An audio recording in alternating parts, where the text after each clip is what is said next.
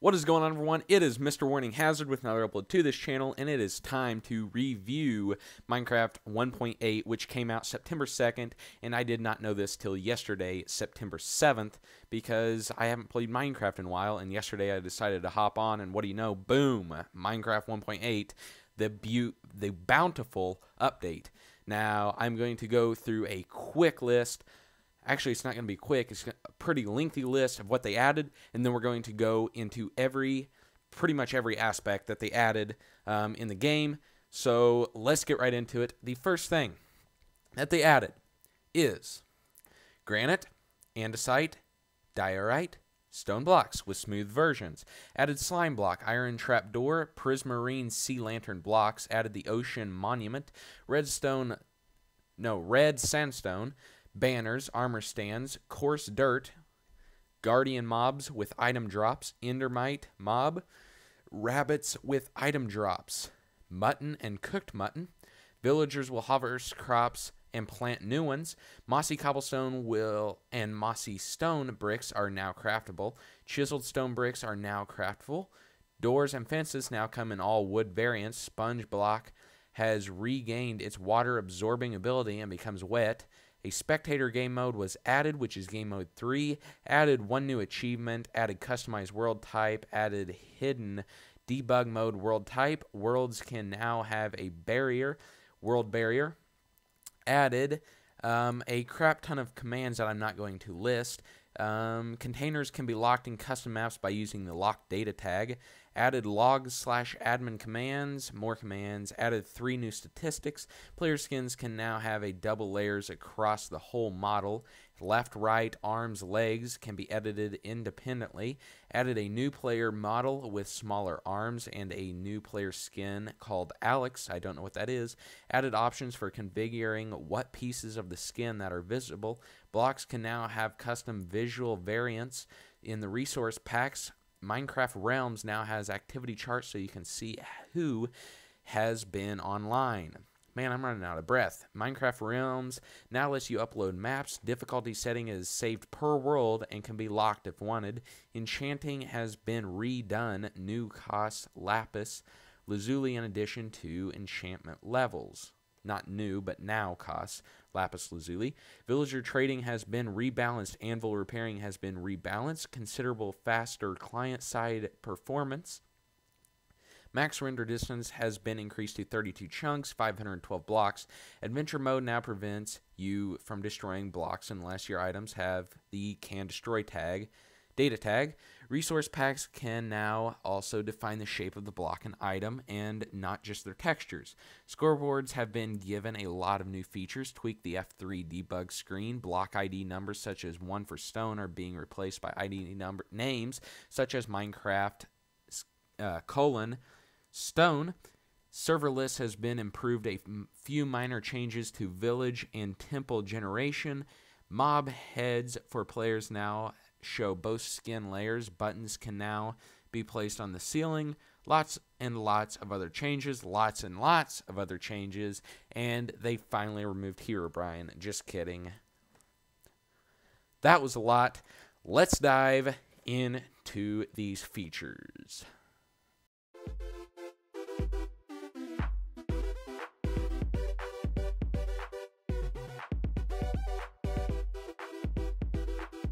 Alright, so there is a lot that they added in Minecraft 1.8, so we are going to try to get through this as quickly as possible. The first thing we have is diorite.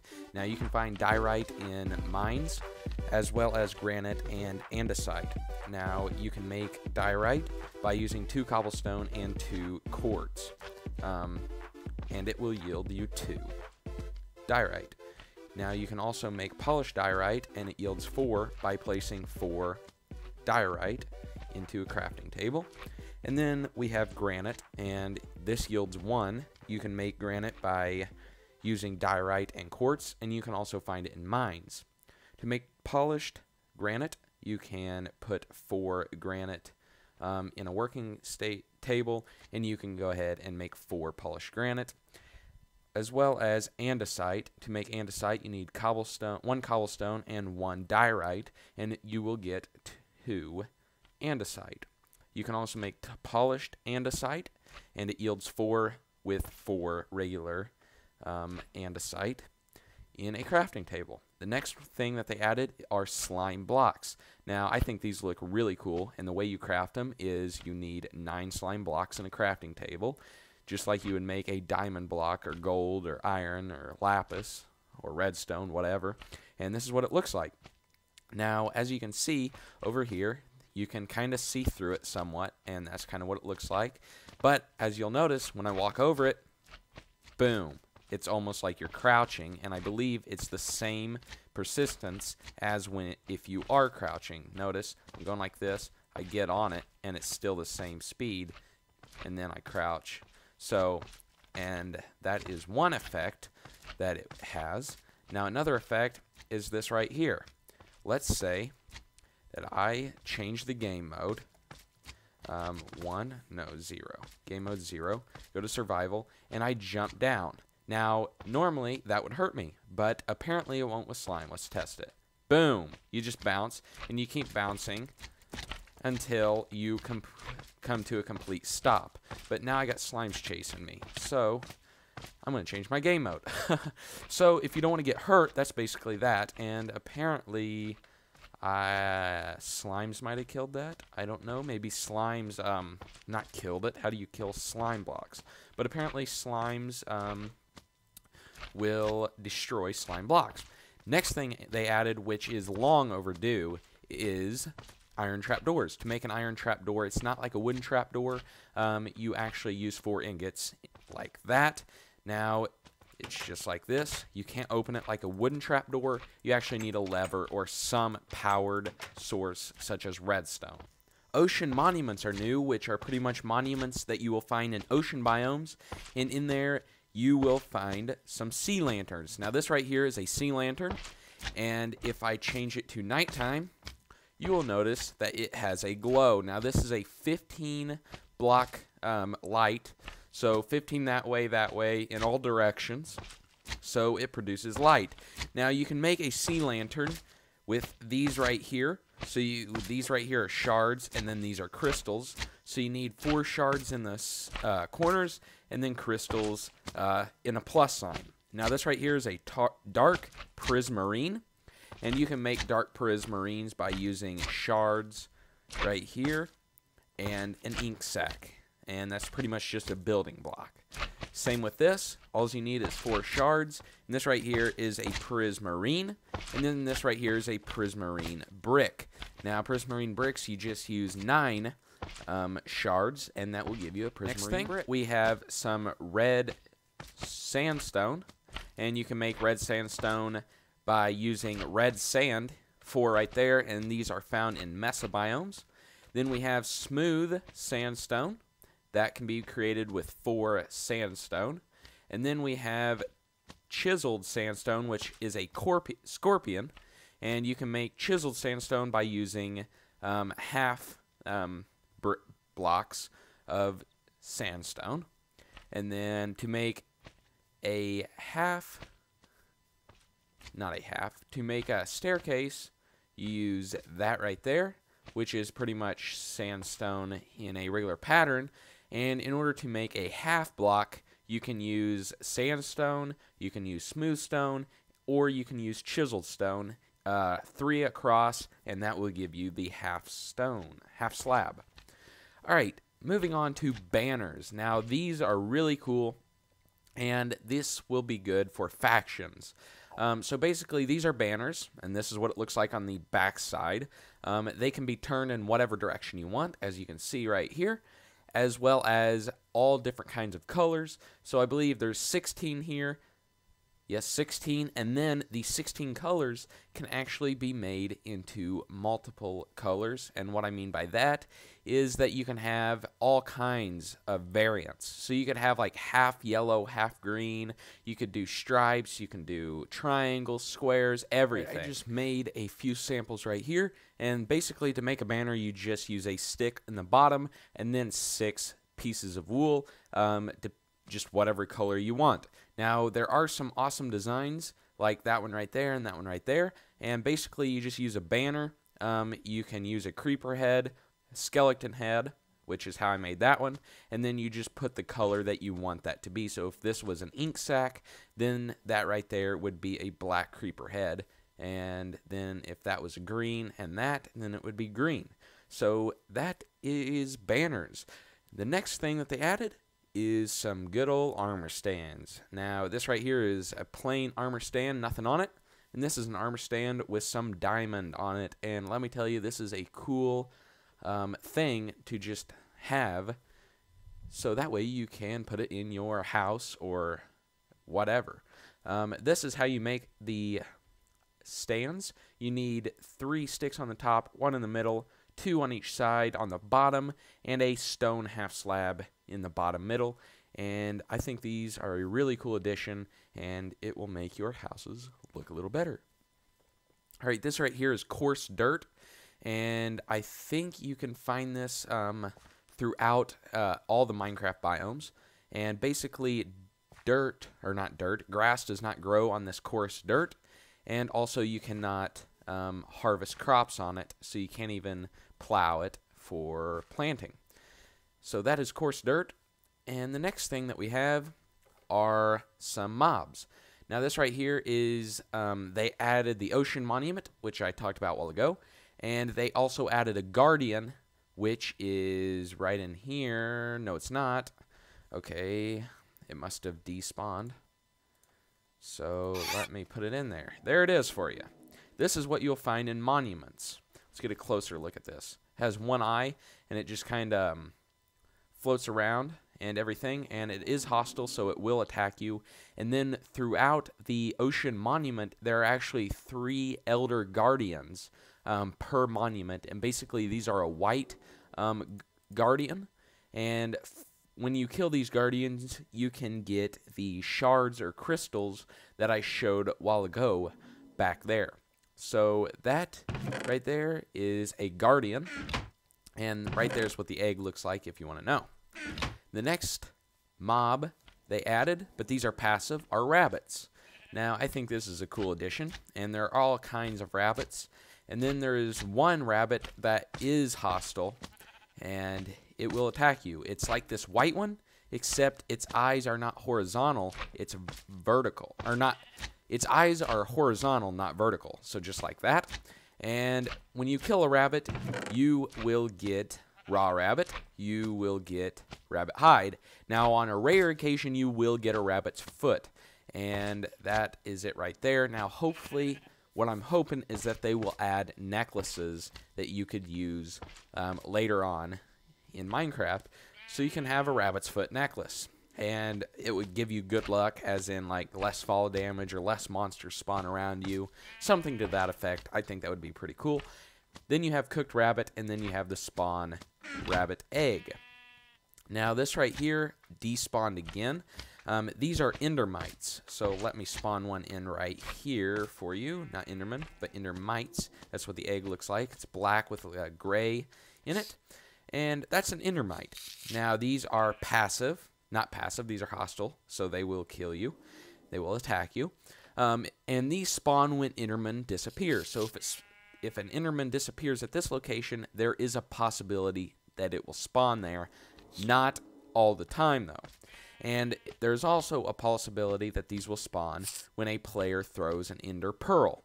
So those are the only two um, times that they will spawn, and I'm pretty sure that they are into the Ender world, but I'm not sure. Um, so that is rabbits and endermites. Let's go ahead and move on to sheep. Now, sheep have been around in Minecraft for a while, but usually you can only get wool from them. Guess what?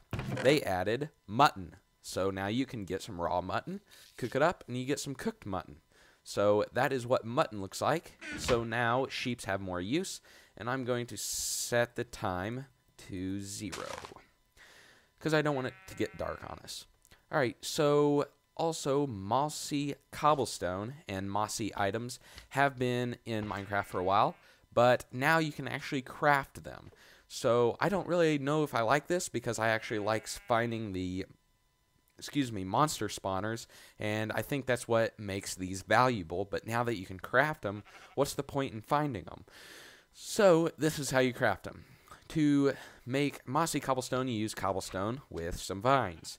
And then this you use, um, what are these called? These are called um, stone bricks, so mossy stone bricks and vines. And then you can get two half slabs of um, stone bricks, and you can make chiseled, uh, whatever it is. I can't think of what it is right now. Chiseled stone brick. So that is that. This is a really cool addition. Um, as you can know, as you know, um, previously in Minecraft, you had two types of doors. You had the wooden door, and then you had the iron door. Now they have doors for every single type of wood. Not only do they have doors, they have fences and gates for every single type of wood. Now, this is really cool. And one thing that I do like about this edition is they didn't just change the color of the door per wood type of wood, they actually added different looks of the doors. And I think that's pretty cool. So the first, we have an oak door, we have a spruce door, birch door, jungle wood door, acacia door, I believe, and then um, I can't think of what this is called. Dark oak. That's what it's called. All right, so those are the types of doors. Now, to make these doors, you just do this, and now you can make um, it yields three doors per um, time you make a door. I don't think that's how it was in the previous version 1.7, but if it is, let me know down below because I don't think it is. I think it's a new feature. Um, so that is that for all types of doors. Now these are the gates and fence posts.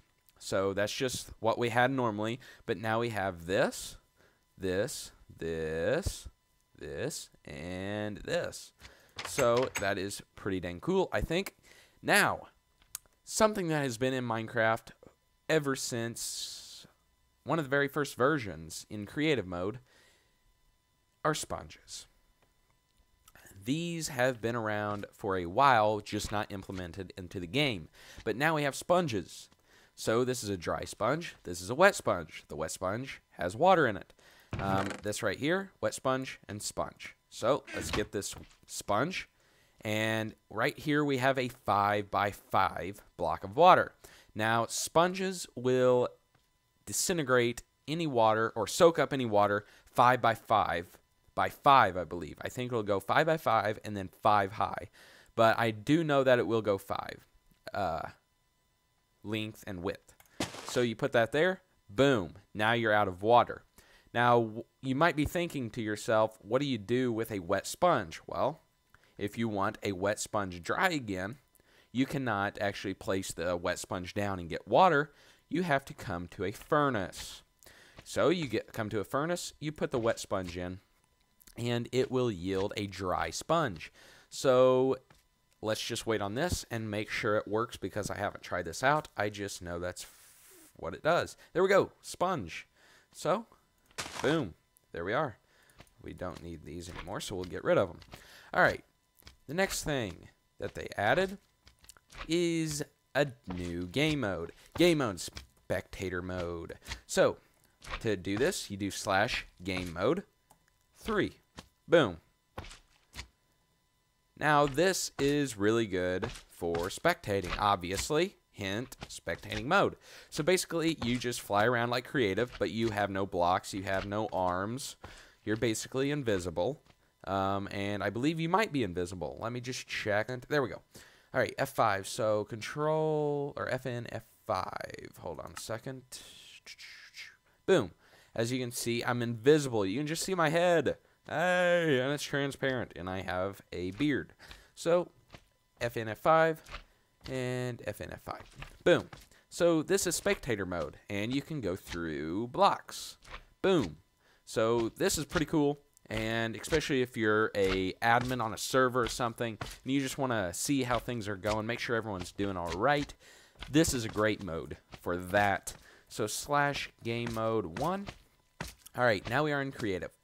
All right, here we go. New achievement called Overpowered. And basically, it wants you to build a notch apple. That is the description. Um, basically, what you want to do is go to achievements and you just need to build a gold enchanted apple, and you get the achievement overpowered. So, that is pretty good. Next thing, they added customized world type. So, I will show you that right now. All right, so here we are at the main screen, and basically, if we do single player, create new world, uh, whatever, go to more options, world type, default, super flat, large biomes, amplified, and now they have the customized. Now, this is really cool because in customize, you can pretty much customize everything in a world, such as the sea level, strongholds, mine shafts, ocean monuments, dungeons, water lakes, lava lakes, lava oceans, biome size, caves, villages, temples, ravines, dungeon count, water lake rarity, lava lake rarity, biomes, size of rivers. Then you can go to the next page. You have spawn size, minimum height, da da di da. This is all kinds of crazy stuff that I do not know. And then you have even more stuff and more stuff, and that is it. So that is the new custom types.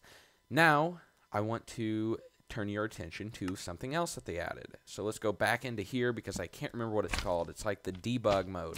All right, add a debug mode. Now, you might be wondering what this is. Let's go find out. All right, so single player, create new world if you noticed, it was a debug mode. What you want to go is world type under um, advanced, I believe, more options. Um, basically, what you want to do under world type is hold down shift and click through these, and eventually you will get debug mode. As you can see, debug mode. Let's go ahead and jump in and see what this does. It puts you in spectator mode, and boom, you have pretty much every item there is in Minecraft. And it's in spectator mode. You're just in the sky and there's no ground at all. And you just come through here, da da da da da. You get all these items. Now, I'm not sure what the purpose of this is, but I do know that it is pretty sweet because, I don't know, it's just pretty cool. And look at all that fire, would you? That is craziness. Um, Let's see what's over here. Because I haven't explored this all yet. Uh, we got chess. We got redstone. All kinds of stuff. Jeez.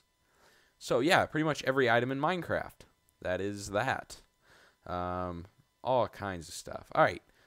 You get the gist. Let's go back to see what they added next. Okay, so we got debug mode down, and they added more commands. Yay, more commands. Better for puzzle maps, better for good old servers and that all that jazz. So they also added new statistics, and the statistics that they added are I will tell you in a second. Hold on, hold on. I got it somewhere. Hold on, just hold on, hold on. All right. They said that they added three more statistics, but I found five. Um, basically, they added detects how many uh, centimeters the player has moved while crouching, detects how many centimeters the move player has moved while sprinting, detects how much time has passed in ticks since the player's last death, detects how many times the player has talked to villagers, and detects how many times the player has traded with villagers. So that is the new statistics, and in the update it said three statistics, but I found five new statistics. That is that, and let's go ahead and just check out the statistics right here. Here it is. Boom, all these nice little statistics that I never look at. Okay, double layered skins. This is great because now they have double layered skins integrated into the actual Minecraft.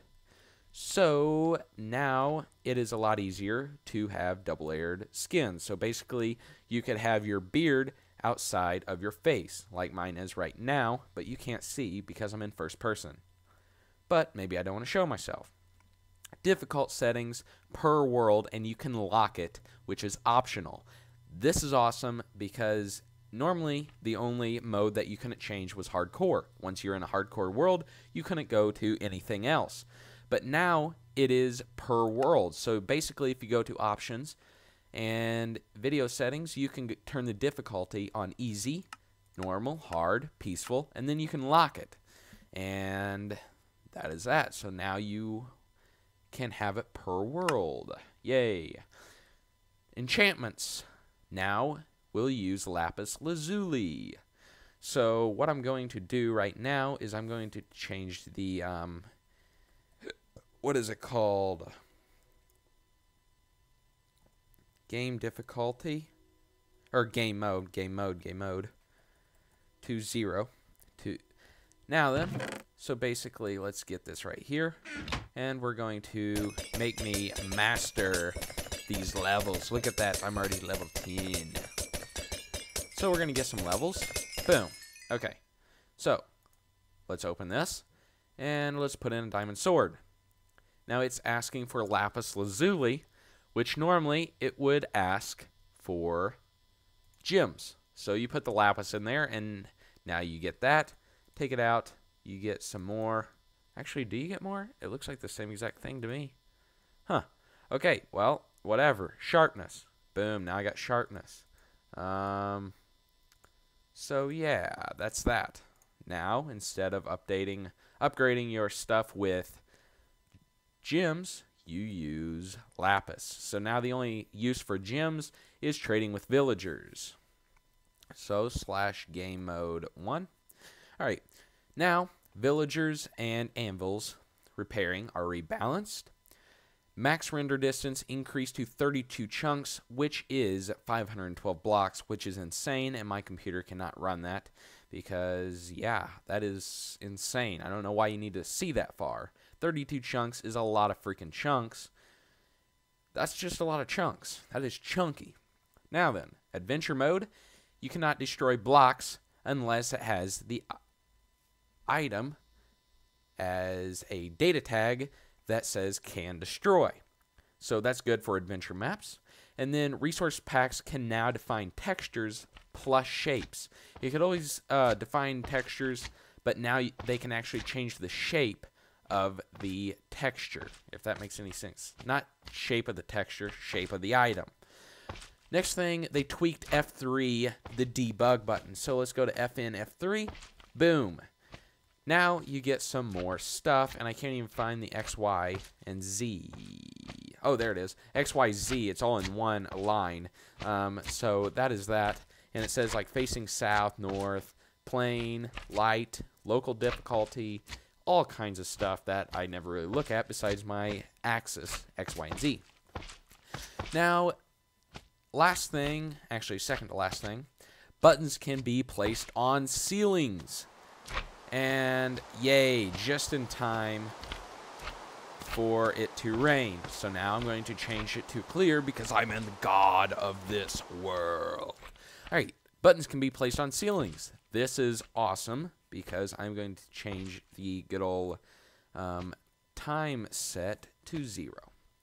Okay, buttons can be placed on ceilings. So now it, well, redstone can be run on ceilings with buttons. And that is that. Um, and the last thing that I wanted to add is that they finally removed Herobrine. I'm just kidding. It's still in the game, and they say that every dang update. I want to thank you guys for watching this video. Let me know what you thought of it down below. Let me know what your favorite update in this update was. What you want to see in the next versions of Minecraft. Destiny comes out tomorrow, and I am getting it. You will see videos on here as soon as possible. So I want to thank you guys for watching. Please rate this video down below, subscribe for more videos, and I will see you later. Once again, I want to thank you for watching this long video. I don't know how long it is, but I'll let you go. Adios.